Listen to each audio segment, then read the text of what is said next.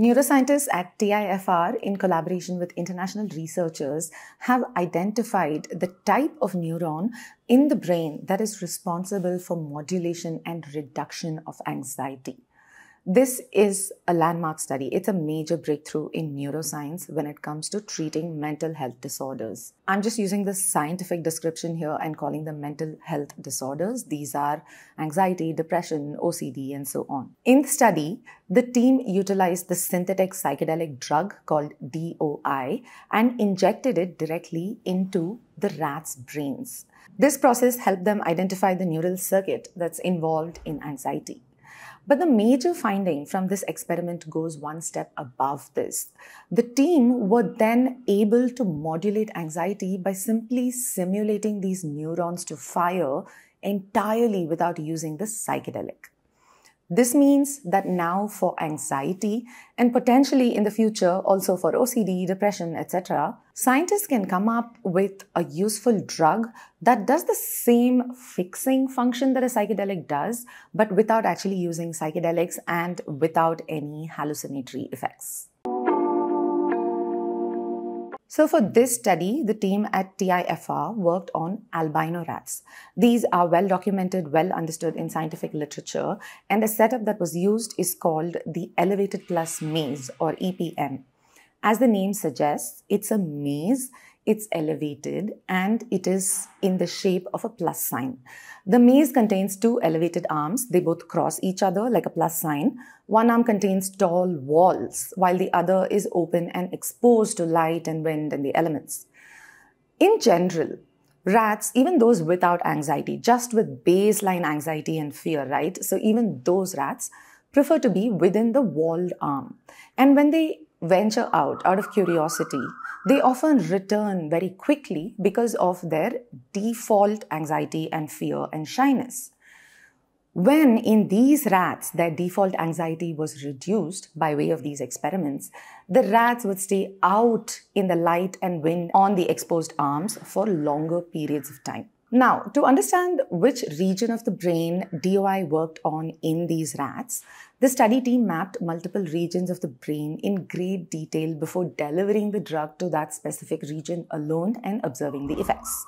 So they provided the drug to different parts of the brain and then saw when anxiety was lower. And their study showed that finally, when they provided the drug only to the ventral hippocampal region of the brain, and the serotonin receptors here latched onto the drug, they noticed a reduction in anxiety. So it is this part of the brain that responds to the drug and reduces anxiety.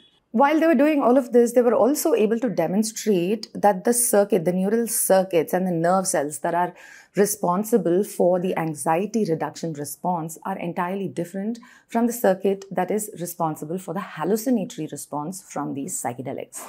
In rats and mice, the psychedelic hallucinatory response translates as a head twitch response, and that is triggered by an entirely different neural circuit, and it does not interfere with the reduction of anxiety in the other brain circuit that the team has identified. So, subsequently, within this ventral hippocampal part of the brain, the team decided that they would identify the specific neurons or the very specific nerve cells that fired during the process of lowering of anxiety. There is a related text story to this news, which will be linked below. It's been published on ThePrint. And in that, I have quoted neuroscientist Vidita Vaidya at TIFR, who led the study over the past five years. And she draws a fantastic analogy to understand the work they did. So, Let's say, for example, the drug is given to all of the city of Mumbai, and her team now wanted to figure out which part of the city lit up in response to the drug. So initially they find, say, like a particular region, like the Marine Drive lit up. So something was lighting up in the Marine Drive region. So you're able to zoom in on that. Now here, in this Marine Drive region, there are tens of hundreds of thousands of buildings. So the team had to figure out which particular building was actually getting lit up. So that they did. And say, for example, she says, she takes the example of an Air India building. So Air India building at Marine Drive has been lit up. So, in effect, what this means is that the team found that the drug DOI was causing a very specific population of neurons, the building, in the ventral hippocampal region in Marine Drive of the brain. These neurons are called PV positive interneurons, and what actually physically happens in the brain is that they fire rapidly and they light up, literally. So, the activation of these neurons was identified as the mechanism that tempers anxiety in these rats. This itself is a major significant achievement. So, now for studies involving anxiety and psychedelics, neuroscientists know which region of the brain to target and there which particular groups of cells to target. But like we said earlier, the team took it a step further. If the drug was going and turning on lights in the Air India building, what would happen if you just remove the drug entirely and simply go and switch on the light switches in the building? This is what the team wanted to know. So, what they did was that now that the neurons are identified, they removed the drug out of the equation and they physically simulated those neurons to fire. And turns out just the firing of these PV positive interneurons, even without the DOI drug, resulted in reduction of anxiety. This is tremendous. The findings show that other drugs now could cause these PV positive interneurons to fire, and this could potentially lead to therapeutics in anxiety, obtaining the anxiety lowering effect of a psychedelic without the hallucinatory effects and the difficulty in obtaining it. Now, that is magic. So now guess what? Neuroscientists don't even need psychedelics. They don't need to go and obtain these drugs that are very hard to come by and which are very clearly showing tremendous promise in neuroscience. They can now just create a synthetic molecule similar to this one without any psychedelic and hallucinatory effects. And this molecule can then latch onto the same serotonin receptors in the brain and fire the same PV positive interneurons without psychedelics and hallucinatory effects. Now, the DOI drug that was used, it is a synthetic drug, but it is not easily accessible. It is not on the street. Its effects are comparable to LSD, but they are completely different classes of drugs and the molecules are also different. DOI also does not have an established safety profile and it really can't be obtained from a dealer on the streets. But it has promising potential in psychedelic research, especially now as this study has demonstrated.